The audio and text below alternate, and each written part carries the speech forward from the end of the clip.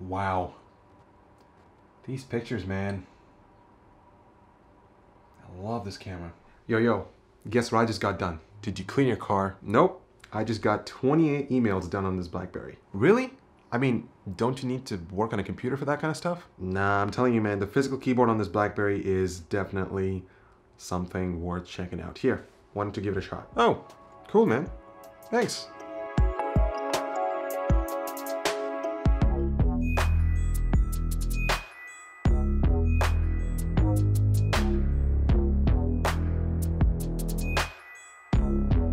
So this is the BlackBerry Key 2, the successor to the BlackBerry Key 1 that I was very fortunate to test out last year.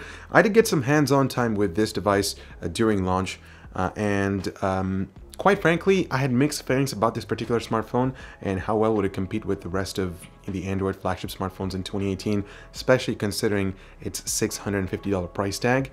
That is an expensive, you know, it's a premium price to pay for a smartphone of this caliber. Um, but either way, I've been using the Key 2 for about a month and it has been an interesting experience, quite frankly similar to the Key 1. So I'll be spending the majority of this video talking about uh, using the physical keyboard on an Android smartphone in 2018. What's it like adapting a lifestyle that's completely different from a typical average uh, Android smartphone? So let's discuss. All right, so let's talk about some of the improvements that BlackBerry has done uh, to the Key 2 when compared to the Key 1 uh, in terms of the physical keyboard. So from a material finish, it's now matte black versus a glossy plastic finish from the Key 1.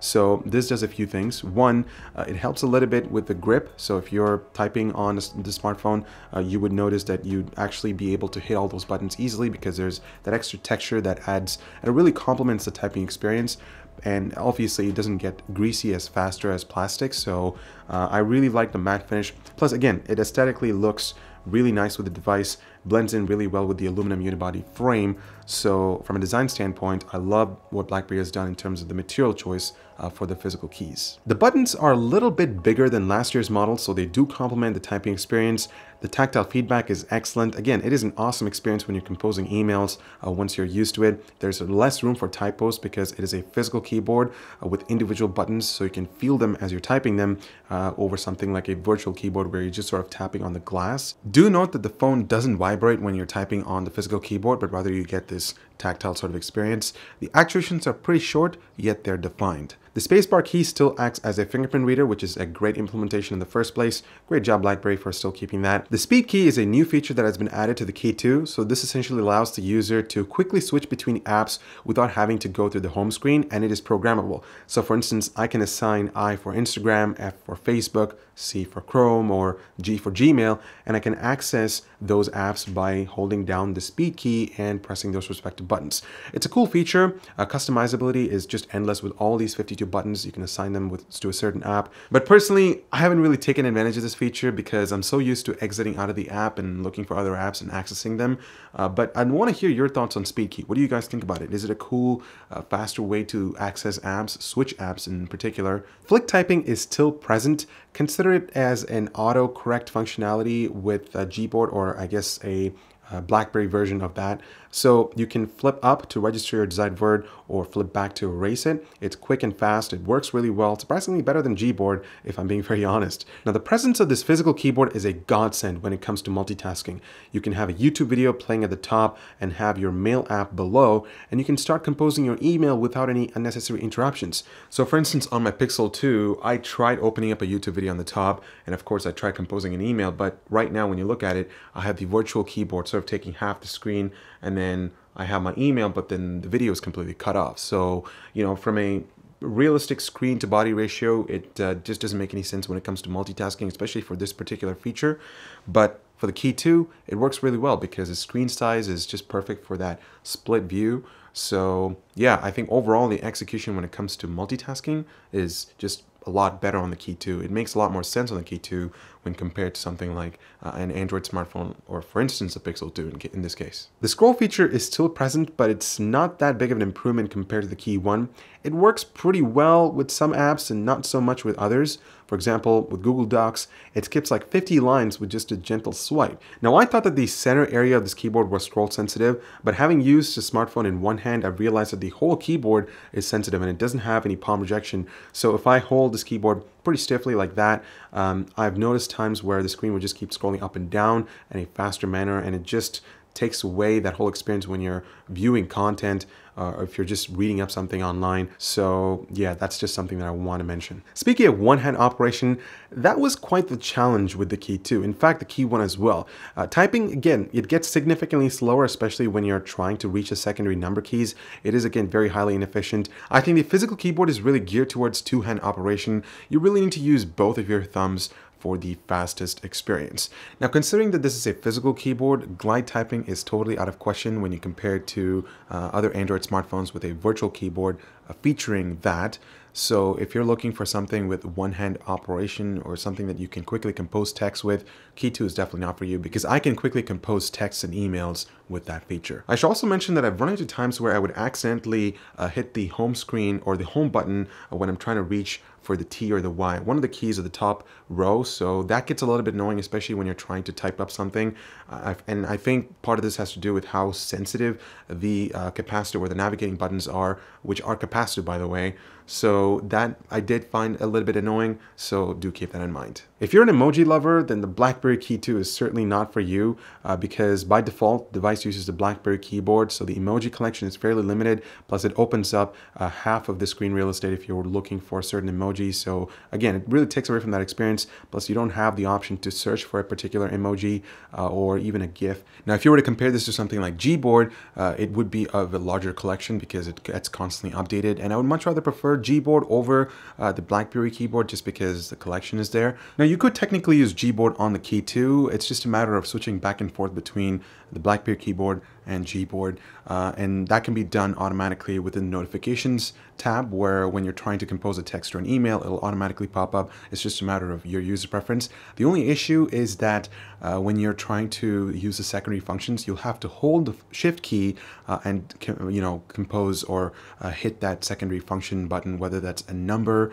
or if you're trying to capitalize a certain letter. But when you're using the BlackBerry keyboard, uh, accessing the secondary functions is just a matter of simply hitting the Alt or the Shift just once, and you'll be uh, able to use those secondary keys. So that's something to keep in mind. Again, it's possible, but personally, I just don't think it's a feasible uh, option. So having discussed my experience using the physical keyboard on the Key 2, what are some of the workarounds when it comes to using the device in general when it comes to other tasks? Well, let's start with the display. Uh, it is a significant compromise for someone who heavily invests their time on phones consuming content. The lack of front-facing speakers, I mean, I really wish if the earpiece acted as a left channel just to add that extra kick when it comes to watching a video or something, uh, as the bottom-facing one can be easily muted. And of course, there's a lack of water resistance. Remember, if water gets into this device through the tiny gaps, the phone's functionality is pretty much compromised. Last but not least, there's a lack of wireless charging. So there are a lot of compromises uh, and I'd say drawbacks uh, with the Key 2. And I think someone who's willing to invest $650 on something like the Key 2 should really, you know, look at their existing lifestyle and see themselves sort of start analyzing, probably put together a pros and cons list and see, hey, what are some of the features that I uh, see myself using with the Key 2 and what are some of the features I don't really care, what I don't really use. So yeah, that's, uh, that's that. The display is pretty much the same size as the Key 1. You get the same 4.5 inch 1620 by 1080 IPS display. Color reproduction is just as expected. There are good viewing angles and a balanced contrast ratio. It's again nowhere closer to the saturation levels found on the Samsung flagships. It's not a super bright panel, I'll be honest, so viewing outdoors might be a little bit of a challenge. Uh, battery life, in one word, is exceptional. It features a 3500 milliampere battery, the exact same capacity as its predecessor. Uh, I was easily able to get through a couple of days with a single charge under casual use, and this involves checking my email, browsing the web, checking up on social media like Twitter and Instagram, and messaging as well. Now, if you're a heavy user, say for example you consume a lot of media content, uh, then you can certainly get to a day and a half worth of use on the Key 2. I don't think you'll be able to kill the battery in a single day just because uh, the way how they've built this device in terms of the specs and how efficient it is is pretty interesting because you've got a smaller display, a pretty efficient processor, Uh, and so all of these things sort of work hand in hand to give you that really good battery life. Now, I just want to quickly go over the software experience on the BlackBerry Key 2. So out of the box, BlackBerry has loaded it with Android 8.1 uh, Oreo, and it is expected to receive the Android P update later on. Now, from an OS perspective, nothing really has changed from the Key 1. You're getting the exact same sort of bloatware apps like BBM, uh, BlackBerry Hub, and a few other applications that are of course preloaded on the on the phone, but I really don't see myself taking advantage of them. Then there's the Locker app, which I found to be particularly interesting because it's a pretty important feature and actually one of the key selling features of the Key 2. Essentially, it's a private hub that lets you add certain apps folders, documents, or even pictures with your fingerprint verification. In my case, I had my banking app set up, so every time I open them, uh, it would have to, or I would have to authenticate the startup with my fingerprint. It's an added layer of security in my opinion, and if you're someone who's working in the corporate world where you're dealing with a lot of confidential files, photos and all the other kind of stuff, uh, this is something that you could take advantage of where you would obviously need that extra authentication to access those files. Uh, so uh, kudos to BlackBerry for including that, and I really wish if other Android uh, smartphones would be able to directly integrate that. I'm sure third-party apps are available, but still, it, it would be pretty cool to have that uh, out of the box. And the last thing that I want to discuss here is the camera performance on the Key 2. And this is probably going to be a short segment, but I'll say it right now, it's pretty terrible. Uh, I mean, look, looking at these pictures, it definitely looks like it's coming from a smartphone that's 150 to 200 dollars rather than a 650 dollar smartphone. I mean, these pictures they don't do any justice. Um, you know, the sensor doesn't do a really good job exposing for the highlights. HDR doesn't really work that well. Um, I mean, I left all these settings in auto mode. I thought HDR would do some justice, but that was not the case. One of the best gaming headsets is now available through Massdrop. The PC37X has fantastic drivers, incredible comfort, and the best microphone in the class. Plus, they look awesome for a gaming headset. Check out the drop, link below. So there you have it, my experience using the Key 2 for the past few weeks, of course with this physical keyboard. Uh, now, would I recommend this phone for $650? No, because I really feel like BlackBerry step they, they just went a little too further when it comes to pricing. Really wish if this phone, or I would have wished that this phone was priced somewhere between 450 to 550. I think that would have been a pretty cool sweet spot for this particular device because at 650, when you look at the competition, uh, it is just it's it doesn't make any sense. You have the OnePlus 6, the the um, the Google Pixel 2, uh, and a few other smartphones as well. So the Key 2 doesn't really compete with those regard with those with those flagships. But if you take pricing out of the equation, then this is a unique device in my opinion. First and foremost, the physical keyboard. Uh, it really is an awesome feature or a unique uh, design implementation when it comes to uh, productivity. If you want to get work done, if you're someone who's scripting on the go, if you're writing a lot of emails, if you're basically spending the majority of your time outdoors, uh, you know, working and just getting work done, I think the physical keyboard will really come in beneficial. Um, it just makes a lot more sense, especially when it comes to multitasking uh, and, you know, less room for typos compared to Gboard on my Pixel 2, which I'm really uh, frustrated with. So yeah, when it comes to productivity in general, Key 2 is an excellent option. And there are also the security features that are built into the Key 2, which just takes things up a notch, uh, especially with DTEK and the way how it handles and scans all the apps in the background for whether or not if it's accessing your microphone or a camera. Uh, it's just really awesome. And I'm going to end on this note. No one's going to buy the Key 2 for the best possible display, you know, the best cameras or uh, the best content consuming experience. That's not what the Key 2 is really geared towards it really is a work machine. If you want to get work done, this is what you should probably look into, but you could still get them done on your smartphones. It's just that this would help, the physical keyboard would really help elevate that experience. Uh, and of course, you know, considering the drawbacks, um, those are some of the things that you'll have to consider when you're looking into something like the Key 2. But I'd love to hear your thoughts on this device. What do you guys think about it?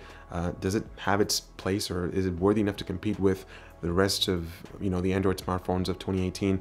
Let me know in the comments down below. I'm Ibar with Hardware Canucks.